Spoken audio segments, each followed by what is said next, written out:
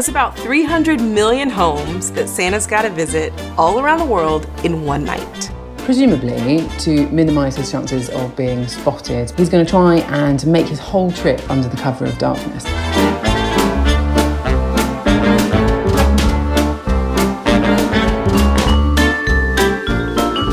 Santa has got one uh, trick up his sleeve because he can use the fact that the world is turning to his advantage. Let's assume he's going to start in the east, so probably all the way in eastern Russia. Almost by the date line. And he's going to travel westward. He's moving with the night, which can add on an additional 24 hours to his total time. So that gives him a total of 32 hours to make it all the way around the world and deliver presents.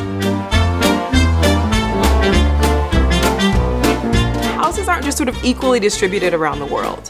We live in cities and towns and we're sort of clustered. But then other places, folks that sort of live out in the country, Santa's got to travel some distance to go from house to house.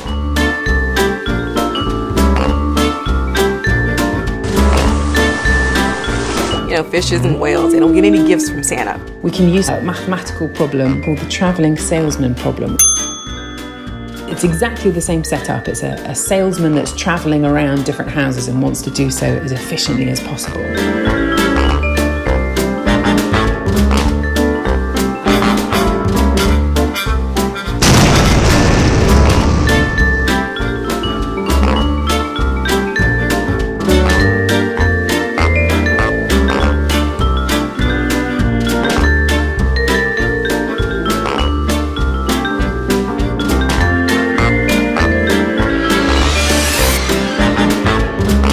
That is quite a lot slower than the speed of light, but substantially more than the speed of sound. If he's traveling at supersonic speed, where is the sonic boom? Like that would wake up all the kids and they'd like stop Santa in his tracks. NASA themselves have said that it, that it may well be possible to build a jet that can get up to supersonic speeds without making a boom.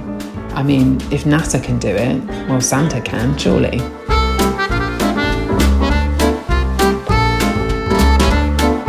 Could have a NASA style heat shield that protects all of the reindeer from those aerodynamic forces. You just don't know what sort of amazing objects he's using to, to pull off these kinds of speeds.